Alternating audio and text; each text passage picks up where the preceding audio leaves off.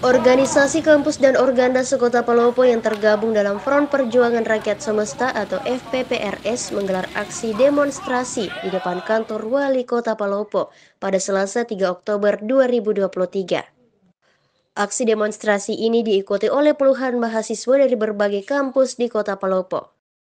Di depan kantor wali kota, para demonstran menyampaikan orasi dan membentangkan poster tuntutan.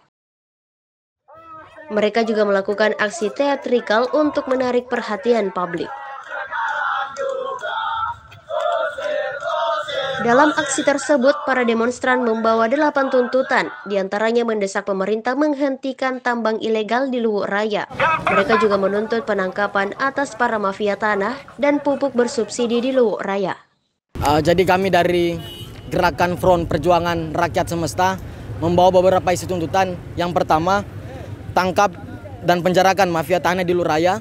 Yang kedua, hentikan tambang ilegal dan evaluasi tambang legal di Luraya. Yang ketiga, hentikan pendistribusian pupuk ilegal. Yang keempat, tangkap mafia pupuk bersubsidi. Yang kelima, laksanakan pasal 33 1945. Yang keenam, hentikan penyalahgunaan al-sintan yang tidak tepat sasaran. Yang ketujuh, wujudkan pemerataan infrastruktur di bidang pendidikan dan juga kesehatan.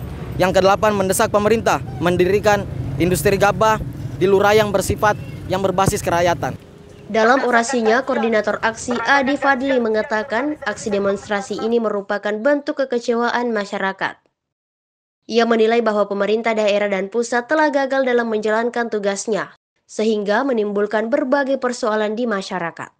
Aksi demonstrasi yang dilakukan oleh organisasi kampus dan organda sekota Palopo ini merupakan bentuk kepedulian masyarakat terhadap berbagai persoalan yang terjadi di Luwuk Raya.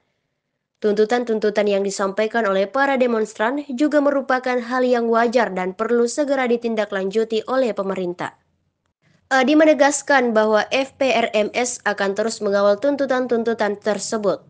Jika tuntutan tidak ditindaklanjuti, maka FPRMS akan menggalang kekuatan untuk memastikan aksi besar-besaran di kota Palopo. Kalau pihak pemerintah tidak dapat mengejawantakan apa yang menjadi tuntutan, kami akan menggalang kekuatan sebesar-besarnya menggalang seluruh spektrum-spektrum gerakan agar dapat memastikan bahwa akan terjadi gerakan besar-besar di Kota Palopo. Pemerintah perlu segera mengambil langkah-langkah konkret untuk menyelesaikan berbagai persoalan di luar raya, seperti mafia tanah, tambang ilegal, dan pupuk bersubsidi. Jika pemerintah tidak mampu menyelesaikan persoalan-persoalan tersebut, dikhawatirkan akan semakin memperburuk kondisi masyarakat Luwu Raya. Sulkifli dan Wahid Hashim mengabarkan dari Kota Palopo, Provinsi Sulawesi Selatan.